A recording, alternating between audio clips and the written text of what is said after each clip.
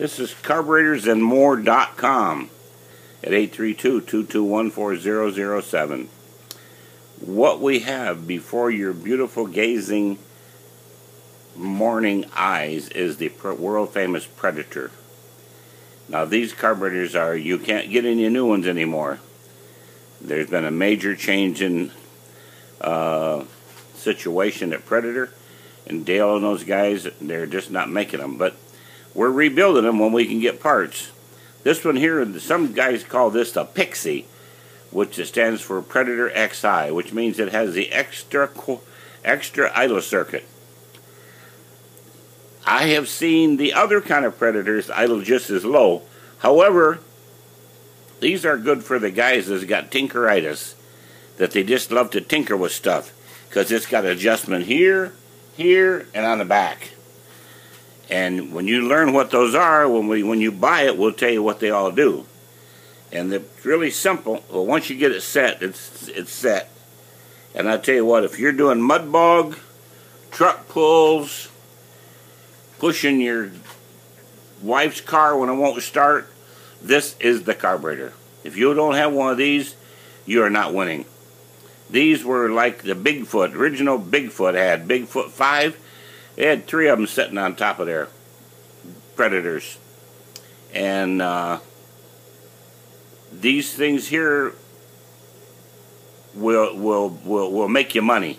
I know we've sold a lot of carburetors and the guys call and say, well, you got any predators this year? Well, not right now. Well, put me on the waiting list because I just got beat by one of your guys with a predator.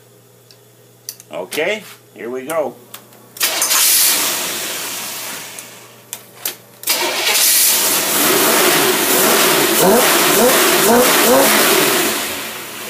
Mean, you can just hear the horsepower right there, buddy. You can just hear the horsepower right there, buddy. Okay, we're going to go back and put the, that was a free rev, like we started it up, and you want to rev it up in front the neighbors.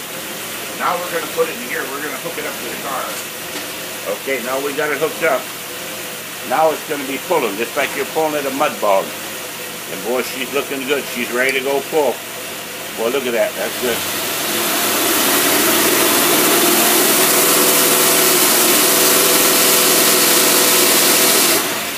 Thing that thing pull right off the end of the scale. That torque scale up there on top. Watch it. Most of them carburetors, they'll go up there about three quarters up the way and then they'll, they'll fizzle out.